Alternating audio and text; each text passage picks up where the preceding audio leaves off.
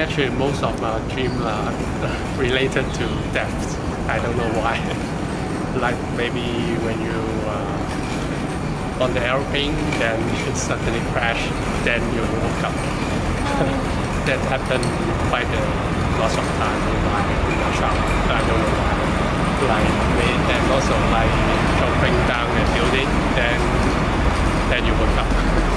That's mostly. Uh, like this kind of thing. I don't know why.